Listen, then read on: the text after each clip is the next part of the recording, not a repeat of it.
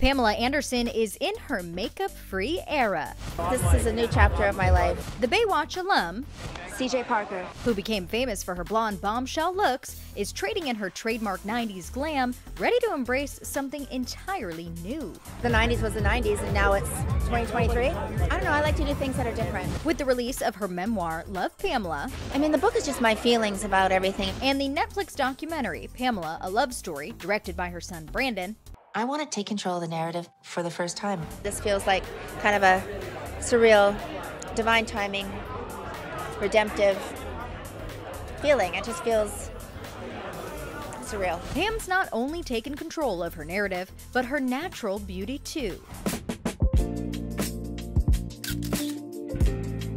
The star's been spotted at lots of events, donning a very much less done up look. So I let my hair dry naturally, then I just put on some moisturizer because I am not into the makeup look right now. As for why she's taken a new approach to her beauty routine, there was someone behind the scenes who helped craft her iconic look makeup artist Alexis Vogel, Pam's decades long go to glam expert. Well, we've been together for over 20 years. She shot some of the first Playboy covers and a lot of my Playboy stuff and a lot of the really big bombshell, everything. When Alexis died after a battle with breast cancer in 2019, for Pamela, it sadly marked the end of an era. As she explained to Elle, Alexis was the best, and since then, I just felt without Alexis, it's just better for me not to wear makeup. Our, our makeup artists have done my makeup and, you know, just something just doesn't quite go right. As for her new minimalist aesthetic, Pamela calls it freeing and fun, and a little rebellious too.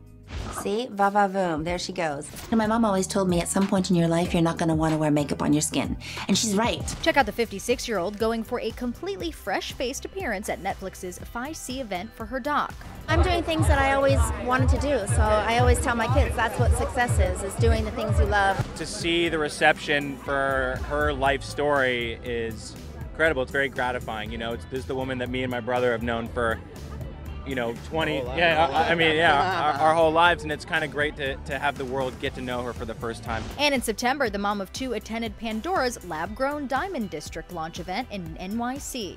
I don't know. I, Now, I don't know. okay, Natural all- beauty still takes uh, two hours in front of a mirror. You kind of have to uh, challenge beauty sometimes. You know, if we all chase youth or we're chasing our idea of what beauty is in fashion magazines and everything, we're only going to be disappointed or maybe a little bit sad.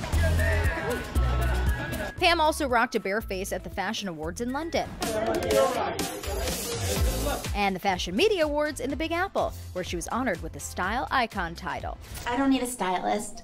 Like, I don't have a stylist, I don't have a glam team. I'm just kind of doing this freestyle. But the moment that had everyone talking, Pamela at Paris Fashion Week.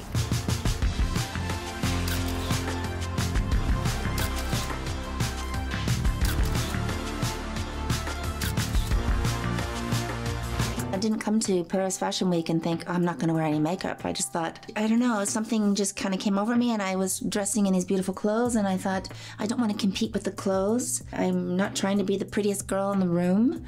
I feel like it's just freedom. It's like a relief. But she said the idea to forego glam at the high profile shows still made her a little nervous, at least when it came to public opinion. Sometimes, like, I feel, am I doing the right thing? Am I doing the right thing? And I, I don't know. And then I think, what, what am I worried about? Like, I, am I worrying about what people think, how I look? And I thought, you know, this is, this is the time for me to kind of be, again, probably a little rebellious. We need to reawaken something. Pam also opened up about feeling a responsibility to lead by example. But I also feel as a woman and as a woman my age and a woman in the public eye, I just kind of think it's also your job to be um, model of um, everything, just all sorts of choices. So I'm just being me, you know, kind of my who I am, in all these great clothes running around Paris. And she did exactly that, receiving praise from the likes of Jamie Lee Curtis, who declared the natural beauty revolution has officially begun. This woman showed up and claimed her seat at the table with nothing on her face. I'm so impressed and floored by this act. Well, it's very, very touching. Scarlett Johansson also weighed in, calling the move a powerful message for women. I think I'm happiest I've ever been in my own skin. It's what's inside the clothes that counts, and I think beauty does come from within. And, and I, I know it sounds cliche, but I love cliches. I'm so corny.